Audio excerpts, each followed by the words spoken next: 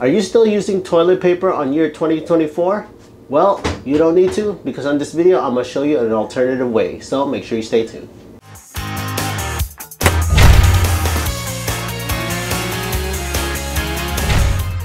Hey there friends, welcome to Fix This House. If you're new to the channel, consider pressing the subscribe notification bell so you can always be in tune on DIYs, how-to videos, and product reviews that I do within this channel. So we all know that toilet paper is a hot commodity and we use this on our day-to-day -day life. But what if I can show you a product that you will reduce the amount of toilet paper you use, save you some money on the long run? That product will be this LUXE Bidet. Now I know there's many bidets out there, but this one I came to find that this one's probably the best one because it has a hot water line feature. Not all bidets have that hot water feature. It's more for comfort. I'm going to show you how it works and how it functions at the very end of the video, so make sure you stay tuned. I'm not sponsored by LUXE Bidet. This is strictly, I bought this with my own money so I can show you on how to install one. So with that being said, let's get started. Let me show you how to install this. It should come with everything that you need to install this successfully, including the tools. Now, LUXE Bidet has many models. This one is model Neo 320 White. So if you're interested on this specific product and other related products from LUXE, um, I'll leave all the links on the description down below. Check out those links. Comes with all the hoses, all the different parts, including the main bidet itself. Has the hot and cold feature, the rear feature, has the clean nozzle feature, and it has the feminine feature, these tools. Now you might need some additional tools, which I'll show you in a bit. But with that being said, let's get prepping and show you step number one. Shut off the water to your toilet water supply tank. You have to remove the toilet seat cover and the toilet seat. Now to get access to that, you need to go look underneath here. Screw on cap that you can just twist and loosen up. Or you can go on top of, depending on what toilet seat you have. This one, you can pop up the top insert a flathead screwdriver to twist that. You can pop that plastic screw out of there and do the same thing on the other side. Easily pop off the cover. Please take your disinfectant first before installing anything. Wipe everything out. Now it does come with these two caps which you'll align with the holes right there where your toilet seat used to be.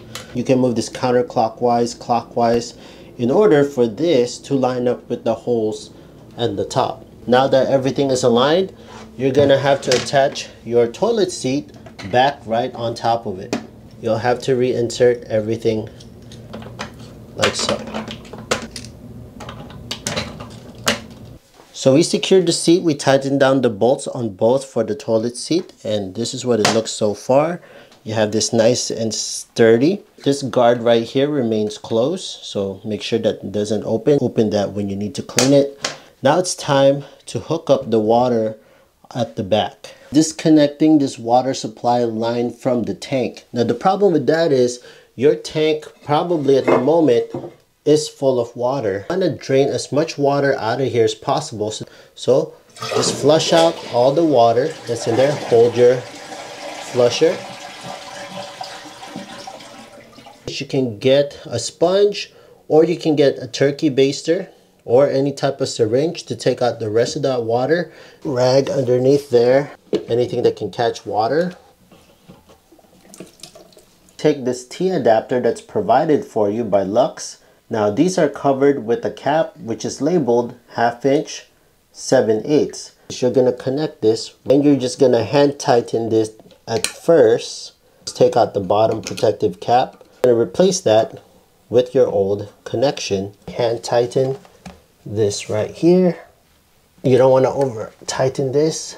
Okay, so the next step is attaching this metal braided hose. This is the half inch connection.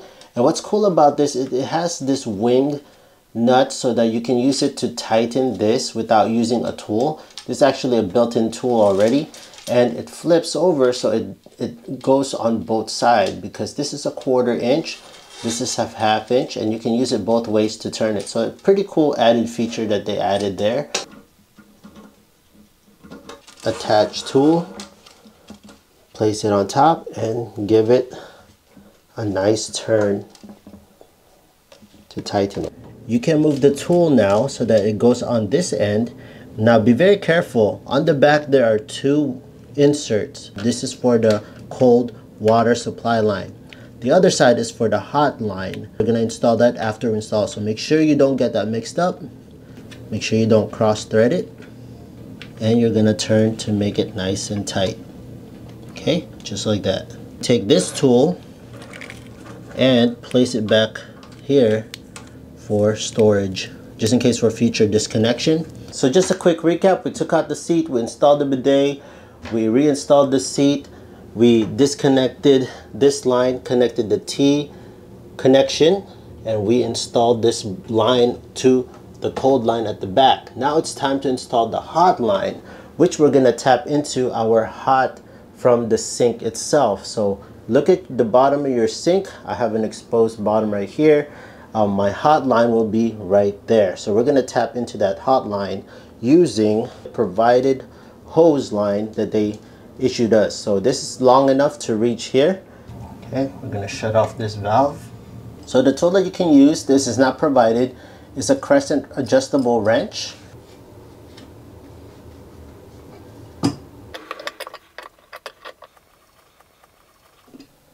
Old plumber's tape, I'm just gonna take that off and put new ones around there.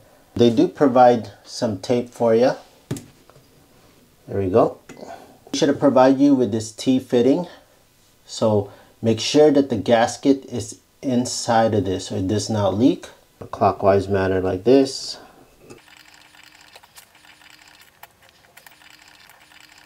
So the next step is now to reinstall back the sink hose. Go clockwise, wrap it around two to three times. Retighten this at the top.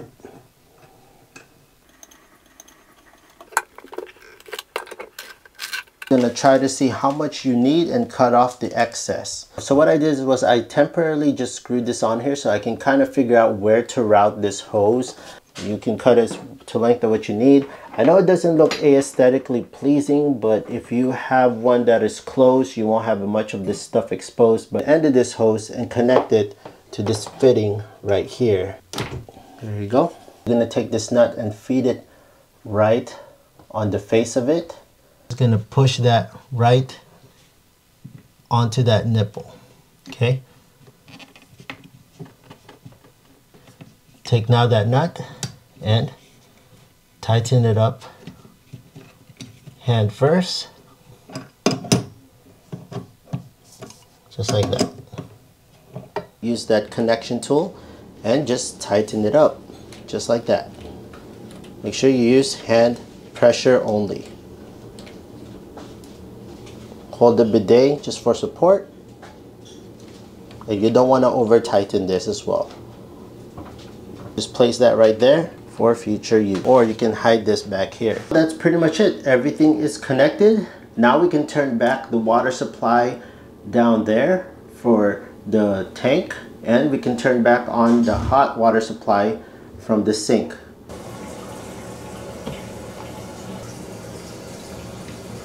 Now before you go and test this out, I want you to take your hand and feel around any fitting that you just installed and just take a visual look on every one of these. Use your hands and go around feeling for anything that might be leaking.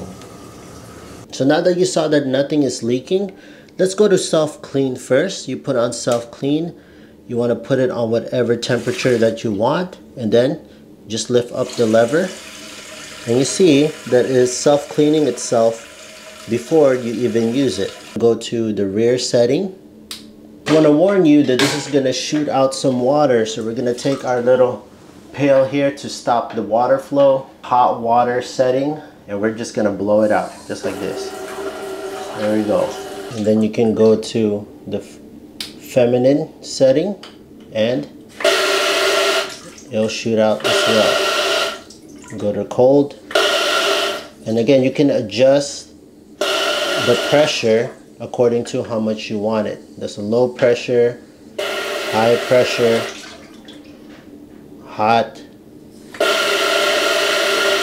there you have it friends. That's how easily you can install this bidet. Again this has the hot feature on it. It has three settings the rear the feminine and the self-cleaning as well. So if you have any questions on how I installed this video kind of leave it in the comment section down below. If you have one of this or something similar let me know also in the comment section down below what your experience is do you recommend this to have this as a standard for every homeowner because given you still have to use the toilet paper and whatnot but this definitely will save you a lot on your toilet paper usage.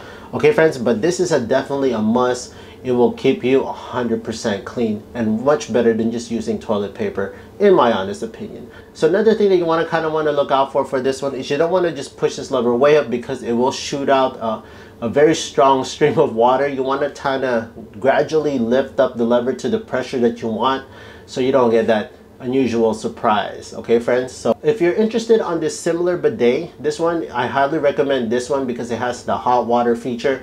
I'll leave the link on the description down below and other models that are similar to this i'll leave it on the link uh, down below as well.